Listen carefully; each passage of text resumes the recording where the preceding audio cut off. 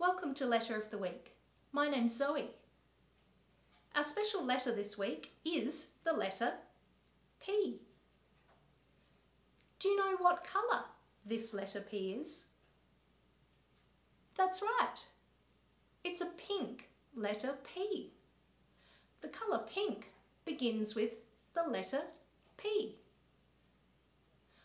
I've got some other things here that also begin with the letter P, like a plant,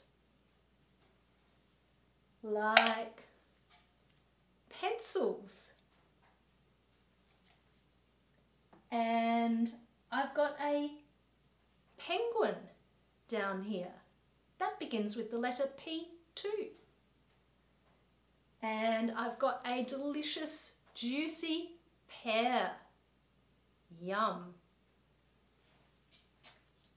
And one last thing I've got hiding down here is a little possum. Possum begins with the letter P too. I know a really good song that we can sing about the letter P and it includes possums. It goes like this. Possums are peeking pa pa pa. Possums are peeking pa pa pa. Possums are peeking pa pa pa.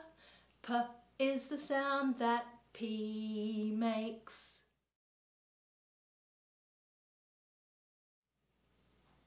If you're looking for some activities to do after watching this video, you might like to try one of these ideas. You might like to have a look around your house and see if you can find five things that begin with the letter P. Another idea is that you might like to try and find some things that you could make into the shape of the letter P. You could even use your hands. My final suggestion is that you might like to think of people's names that begin with the letter P. For example, Pippa begins with the letter P, doesn't it? Do try any of these activities, we'd love to see what you get up to, so please share your creations with us on social media. Details about how to do this are at the end of the video. Thanks for joining me today for Letter of the Week, and we'll see you next time.